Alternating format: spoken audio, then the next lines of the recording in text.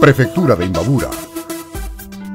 El agua es un elemento natural y cultural que está íntimamente ligada a la vida de la gente, a nivel urbano y en particular en el medio rural. Constituye la base para la producción agropecuaria y piscícola, genera y reproduce la vida y es parte de la belleza paisajística y turística de la provincia de Imbabura con el objetivo de analizar la situación del agua y los ecosistemas relacionados en la provincia de Imbabura y contar con el marco legal, institucional y de gestión comunitaria del agua, la Prefectura de Imbabura invita al Encuentro Provincial por el Agua y la Vida. Grupo 1, Riego y Desarrollo. Grupo 2, Agua para Consumo Humano. Grupo 3, Gestión de Cuencas, Páramos y Bosques.